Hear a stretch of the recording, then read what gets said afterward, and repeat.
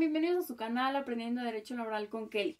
El día de hoy vamos a hablar acerca del el certificado médico, cuál es el fundamento legal, cuáles son los requisitos y cómo es que se exhibe. Y bueno, primero que nada debemos de conocer que el artículo 785 de la Ley Federal del Trabajo nos establece eh, que cuando una persona no pueda concurrir ante la Junta, ya sea a absolver posiciones, a rendir su testimonio, a su ratificación, eh, puede exhibir un certificado médico o una constancia fehaciente que acredite su imposibilidad para comparecer ante la Junta. Y bueno, eh, en el apartado de descripción les voy a dejar la jurisprudencia que señala los requisitos con los que debe contar este certificado.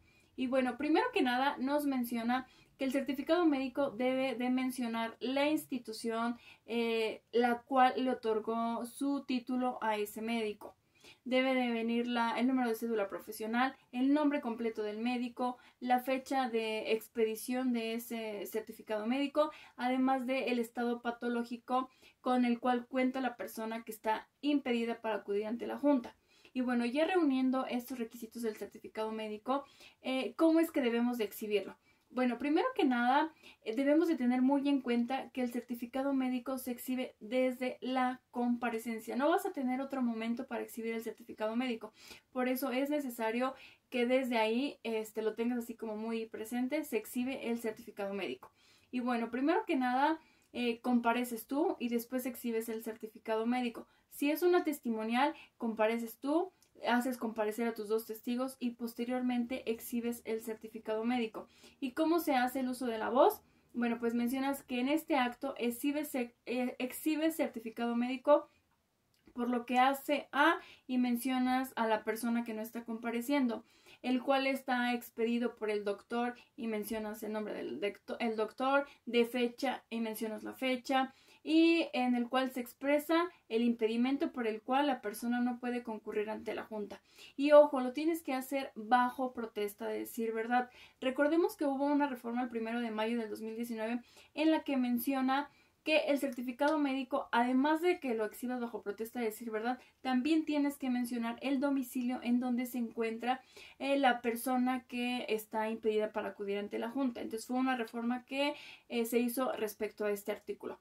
Y bueno, una vez ya que tú exhibes tu certificado bajo protesta de decir verdad, eh, ya exhibes el certificado y así es como debe de quedar tu comparecencia. ¿Ok?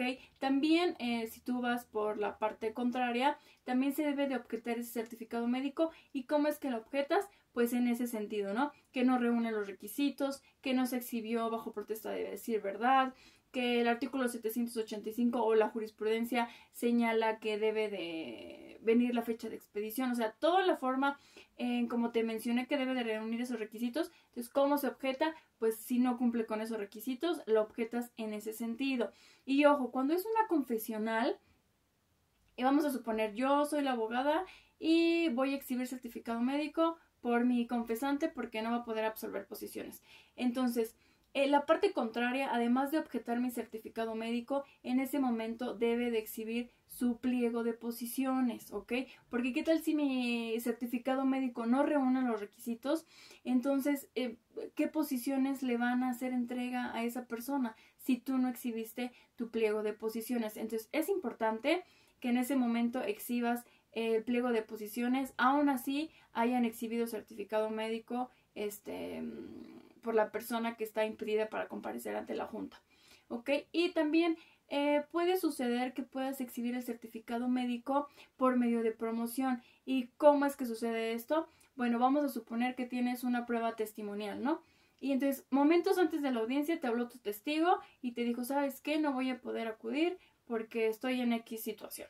Entonces, eso tú lo manifiestas en tu uso de la voz compareces tú, haces comparecer a tus otros dos testigos y mencionas qué momentos eh, previos a la celebración de la audiencia te marcó el testigo, mencionas el nombre del testigo, manifestándote su imposibilidad para eh, comparecer ante la Junta en virtud de que está este, recibiendo asistencia médica y que solicites a la Junta se señale nueva día y hora para el desahogo de esa probanza y que te dé el término necesario para que tú puedas eh, justificar la inexistencia de ese testigo. Entonces, en ese momento tú ya hiciste el uso de la voz en tu audiencia, la Junta te debe de, de dar término para exhibir tu certificado médico y de esa manera tú lo ingresas por medio de promoción. ¿ok? Entonces puede estar esas variantes que tú ya tienes conocimiento y desde la comparecencia tú ya llevas tu certificado médico o que momentos antes de la celebración de la audiencia te marcaron,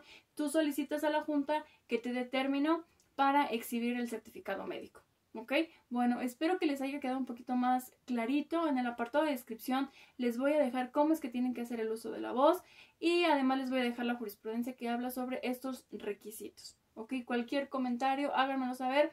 Y no se pierdan los siguientes videos porque vamos a estar hablando de cómo se desahogan las pruebas, ¿ok? Vamos a enseñarles cómo hacer un interrogatorio para testigos em, y cómo se hacen los pliegos de posiciones, ¿ok? No se pierdan el siguiente video. Gracias por seguirnos y no olviden suscribirse al canal, por favor. Cuídense mucho. Hasta luego.